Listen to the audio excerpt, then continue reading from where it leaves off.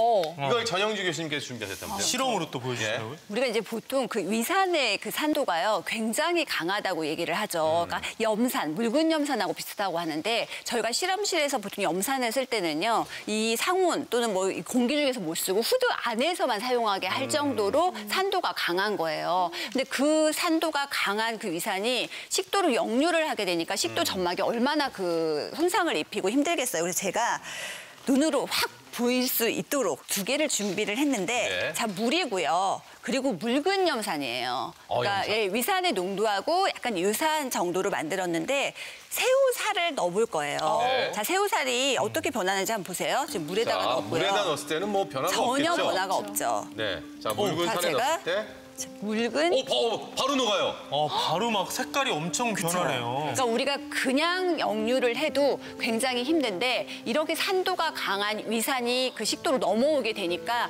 굉장히 큰 자극이 올 수밖에 없고 점막 손상이 있을 수밖에 없다는 거예요. 근데 네, 위험이 생기게 되면 이제 식도의 그 관략근이 제대로 조절이 안 되니까 조직을 회복하는 게 중요한 거겠죠. 그러니까 지금 두 분 식도가 저렇게 자극을 받고 있는 거잖아요. 이거 실험 보니까 더 오시죠, 느낌이.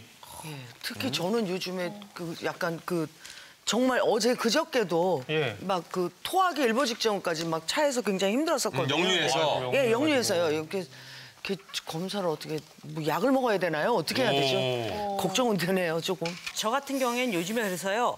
어, 신 거는 절대 안 먹어요. 아, 그, 그 침을 너무 넘을까 느낌이 봐. 비슷해서. 또 신물이 올라오는데 신 걸 더 먹으면 더 올라와요. 그래서 요즘에는 과일 같은 건 절대 안 먹고 있어요. 잘하는 건가요?